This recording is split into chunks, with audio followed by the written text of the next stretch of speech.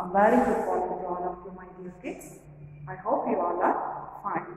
Children, today we will move on to our new topic that is rounding off numbers to the nearest tens. Okay, what is the rounding of numbers? Suppose anybody asks you that how many members are there in your school? How will you answer? Do you know the exact number? No, we don't know the exact number. At that time, you will maybe 400 or 500 children are present in our school. That is the rounding of numbers. And rounding of numbers makes the calculation easier. Today, we will learn the rounding of numbers to the nearest tens. How we have to round up the numbers which has the nearest tens. So, we will take an example here. First one, you remember that if the, while we are going to round to the nearest tens, if the given digit is less than 5, either it may be 1, 2, 3 or 4, what we have to do?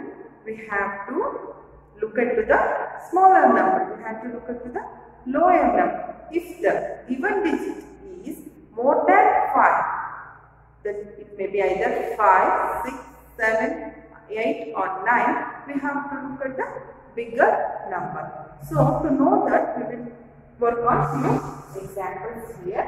That is the, repeat that, assume the given number is 92. You write this like this in the next furniture and it is a very easy method to round up the numbers. Now, what we have to do while rounding the digit at the tens place. I am telling particularly at the place. What we will do?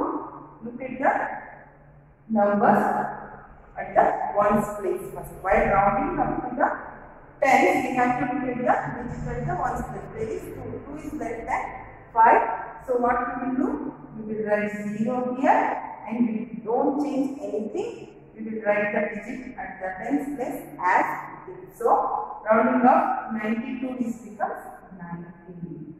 If the number is less than 5, the digit at the 1 space will become 0 and digit will at the 10 space will not change. I will write as it is.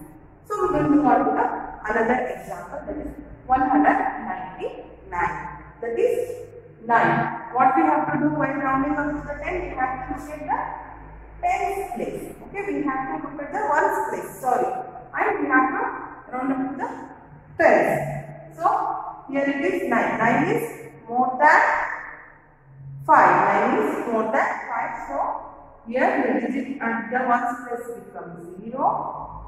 If the number is more than 5 at the ones place, we will add plus 1 to the tens place. Because we are rounding up to the 10, the one, number 1 will be increased. We will add 1 to the digit at the ones place. 9 plus 1 it has become 10. So we will see, write 0 here and we will carry over 1 here and it has become 2. 1 plus 1, 2. That is, the nearest rounded up number of 199 is 200. Okay, we will work on another example.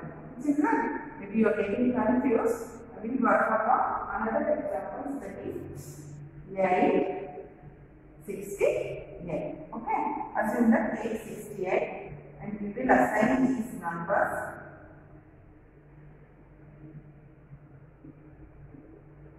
Hmm.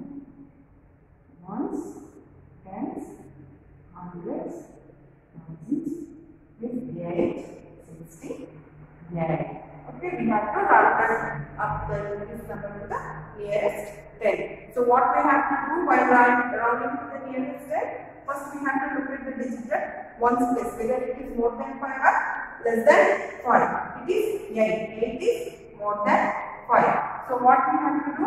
We have to write here 0 at the 1's place and we have to add 1 to the digit at the 10's place. That is 6 plus 1 is equal to 7.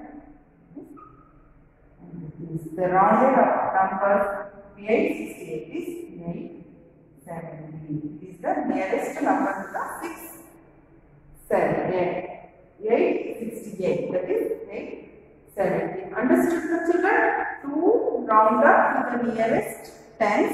You have to look at the digits at the ones place. If the digits at the ones place is less than 0 no need to change anything. Only you write the 0 at the ones place and write the numbers of the tens place as it is. If the number is more than 5 at the ones place, you write down the digit at the ones place as 0 and add the digit 1 to the tens place and you will get the nearest rounded off number to the 10. We will do the activity and you will understand it clearly. Okay, we will move on to the activity 5. Round off the to the nearest 10. The first number has given that is 72 and we have to round up this number to the nearest 10. We will work up here. This 72 is the given number. So what we will do? We will assign the value chart that is ones, tens and hundred. We will write 72 here. What we have to do while rounding the nearest tens? We have to look at the number at ones place. If the number is less than 5, what we have to do? Here the number is less than 5. That is 2. We have to write 0 here and nothing will change at the tens place. The number has written as it is. The rounded to the nearest tens for 72 is 70. The number is less than 5, nothing will change. Only we write 0 at the ones place. The digit at the tens place has written as it is. That is, the rounded of nearest 10 for 72 is 70. We will move to the next number 87. This 87. 87. To round up the nearest and what we have to do? We have to look at the digit at the ones place. That is, here the digit at the ones place is more than 5. That is 7. So, what we have to do here? We have to write the number in the value chart. Okay. The number is more than 5. So here we will write the digit at the ones place that is 0. Only the digit the ones place change to the 0. Then if the number is more than 5, we will add the 1 to the digit the tens place. The number is more than 5, the ones place is changed to 0 and we will add 1 to the tens place. It has become 8 plus 1. 9 that is the nearest rounded of number on 87 is 90 that is 90 okay next one is 235 that is 235 the third number is 235 again we will assign the value chart ones 10 100 1000 we will write the numbers from right to left 5 3 and 2 here. First look at the which place? While rounding up tens we have to look at the digit at the ones place. So here it is 5 so from 5 to 9 what we have to do?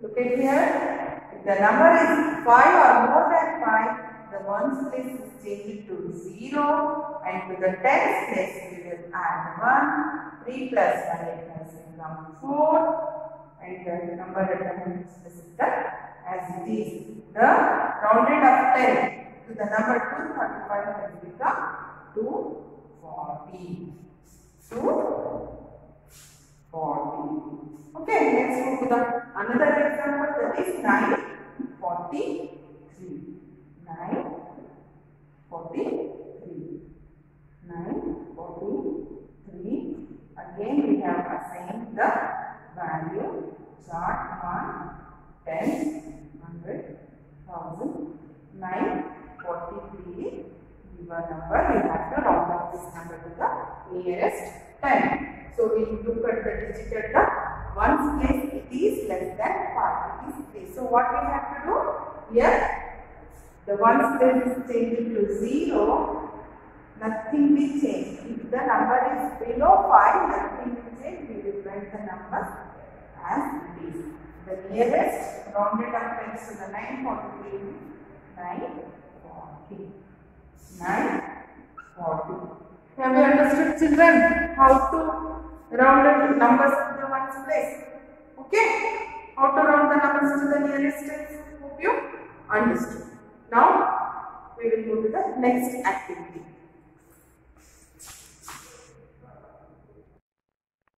Okay, now we will move to our next topic which is even and odd numbers. In your previous class you have learned what is odd number and what is even number. What is even number? The number which will make an exact pair is called even number. The number which is divisible by 2. Those are called even numbers. For example, 2, 4, 5, 6, 7, 8, sorry, 6, 8, 10, 12, 14. These are all even numbers. These numbers are divisible by 2. What is odd number? The number which does not make any pair. The number which does not make any exact pair is called odd numbers. That is, for example, 1, 3, 5, 7, 9, 11, 13, 15, etc. The number which is not divided by 2 are called odd numbers. Now let us see the pair of odd numbers and even numbers what they form. The sum of two odd numbers is always even. If we add two odd numbers, that is 43 and 41 is example for odd numbers. If we add two odd numbers, the answer is even number. Next, the sum of two even numbers. If we add two even numbers, the answer is even only. Next, the sum of odd and even number. If we add one number, add and one number even together, it is odd only. Okay, the sum of two odd number is always even. The sum of two even number is even number. The sum of one odd and one even number is odd number. Now let us work on an activity. Okay, next we will move to the activity. In the activity 6, that is first main, write even or odd number. We have to write whether the number is even or odd. So here the given number is 64. By the seeing the number at the ones place, that is 4. 4 is divisible 2. We can make the exact pair of 64. It is even. The number which is divided by 2. Now here 153. Look at the number of the digit at the ones place that is 3. We cannot make the exact pair of 3. So 153 is odd number. Odd number. Here 600. 600 we can make the exact pair and it is divisible by 2. So it is even number. Again 2078. Here at the ones place there is a 8. So 8 is divisible by 2 and we can make exact pair by 200 and 2078. So it is a even numbers. Okay. By looking the digit at the ones place we can identify whether the number is even or odd. Next, write whether the sum is even or odd. As I told you, two odd number gives a even number. The sum of two even number is always a even number. The sum of one odd and one even number is odd number. So let us see. The given sum is odd or even. Here 54 plus 96. Look at the digits at the ones place. They are even number. They are divisible by 2. So the sum of two even number is even. Okay. Next, coming to the next example. 142 plus 364. Here is also both are even numbers. So the given sum is even. Okay. Again, the sum here is given 83 and 14. Okay. Here one is even and another one is odd number. The sum of one odd and one even number becomes odd only.